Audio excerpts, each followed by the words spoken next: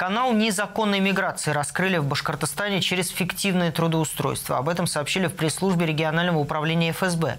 Миграционные услуги оказывали несколько местных жителей. Они трудоустроили более 100 иностранцев на местное предприятие. Хотя фактически никто из них к работе не привлекался. Уведомления о заключении договоров были предъявлены в органы миграционного контроля. Сотрудниками ФСБ установлено, что 54-летняя жительница Уфимского района совместно с близкими родственниками оказывала незаконные миграционные услуги иностранным гражданам. В ходе следствия выявлено, что злоумышленники получили противоправным способом учредительные документы коммерческой организации. Пресс-службе регионального МВД сообщили, что обвинения по делу предъявили также 23-летней дочери зачинщицы. В ходе обыска их места жительства изъяли паспорта мигрантов, учредительные документы на другие компании, заполненные уведомления о заключении трудовых договоров. Также были обнаружены более 100 пустых бланков миграционных документов.